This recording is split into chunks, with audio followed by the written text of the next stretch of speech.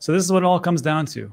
Really, it always came down to regulation and what the SEC was going to do. And I'm just going to here to tell you that this is the time that I've been waiting for. And what I'm talking about specifically is the SEC cracking down. And we know that uh, they came to Kraken. They said, "Hey, no more of that funny business with." Uh, all your staking, and then uh, Kraken had to pay $30 million. And just recently, I think it was yesterday, uh, SEC uh, is suing Tron founder Justin Sun and a couple of different influencers like uh, Lindsay Lohan and Jake Paul and things like that. And then, of course, yet, yesterday, last night, this is what it comes down to. Uh, Brian Armstrong, the CEO of Coinbase, says, Look, we just received a Wells notice from the SEC. And when you get a Wells notice, what that really means is that they're going to sue you. That's exactly what's coming to Coinbase. And I'll get into the why and all that stuff, but I said this weeks ago. We have to sue the SEC. Grayscale is doing it because they said, look, if you're not going to allow us to get a Bitcoin ETF, we're going to take you to court and we're going to figure out why you allowed not did not allow spot Bitcoin ETF, but a futures ETF. It makes no sense to us. And right now, it looks like they're you know doing pretty well against the SEC. But I've always said, like, when you have a bully, there's only one way to treat a bully. That's to stand up to the bully. And really, it comes down to the obstacle is going to be the way. There's only one way through this, and it goes through the SEC, and we have to beat them. That's really what it comes down to. And this is what Brian Armstrong, CEO of Coinbase, said. He said, Look, he goes, This is the Wells notice. Uh, it usually precedes an enforcement action. He states, Two years ago, the SEC reviewed our business in detail and approved Coinbase to go public. It is a publicly traded company. And there is some information we're going to go over in just a little bit, which is going to tell us which way you know we should support uh, Coinbase. Our S1 clearly explained our asset listing process and includes 57 references to staking. Coinbase runs a rigorous asset review process, rejects more than 90% of assets. We are right in the law, confident in the facts, and welcome the opportunity for Coinbase and by extension, the crypto community to go before a court.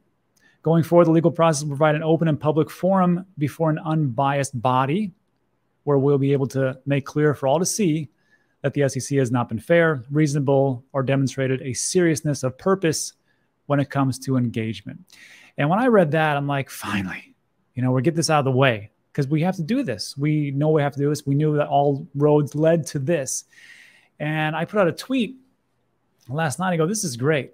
And I said, I'm going to talk about this in tomorrow's Non Financial Advice live show with uh, Guy and Ben. I said, but we got to support Coinbase. Uh, this legal process is going to be long. It's going to be years. Look at what's happening with Ripple. And I said, the way I'm going to think about doing this is investing into the stock of Coinbase.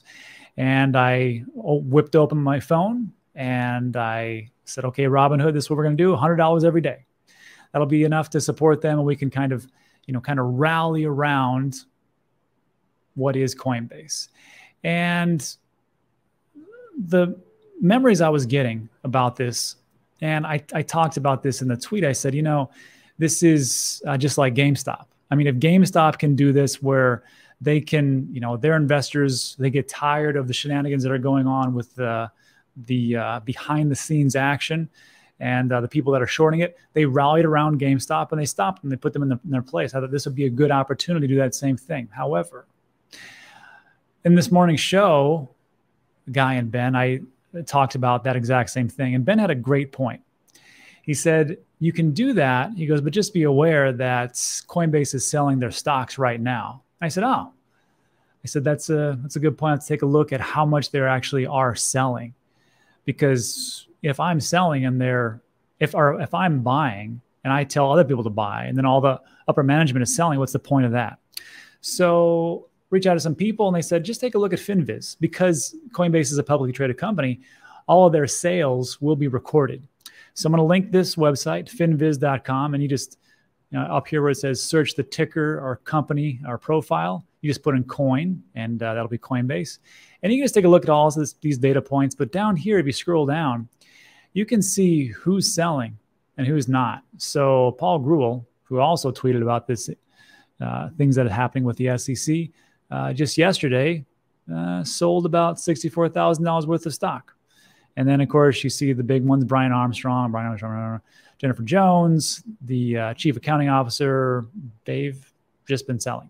Now, to be fair, there have been some buys here, but it hasn't been substantial buys. Uh, but that's uh, what you can see here in the green area. But you see a lot of red.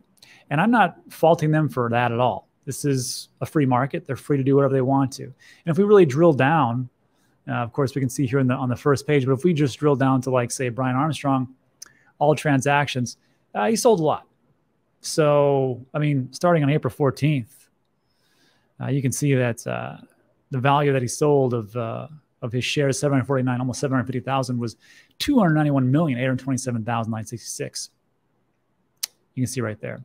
So for me, I think to myself, it is a good rallying call to do those things. And it's great to support the community. But sometimes you have to be careful about what you're supporting. If they are selling, I'm not saying they're going to dump everything right now. It just makes me think twice about it. So then I thought to, my, thought to myself, well, how can I support this? Well, there's a couple ways that I can do this and we can do this. One of those ways is to always give updates about the story that is unfolding, how things are going. But the, the bigger one, I think, would be just to use Coinbase itself. And I thought to myself, well, how can we do that? How can we, what are the best ways? So if you take a look here, how does Coinbase generate revenue? Because this is going to be a multi-year lawsuit. Funds are going to be needed, and someone did point out that you know uh, BlackRock is in some way uh, mingling with with Coinbase what they're doing. But regardless, in the final quarter of 2022, this is how Coinbase generated their revenue. It was 605 million, 605 million in total revenue. 322 million came from transaction revenue. That's from us. That's from the retail buyer buying crypto and 282 million were subscriptions and services. So, what are subscriptions? It's this it's Coinbase One. And I already have this. So, I think we're doing our part already.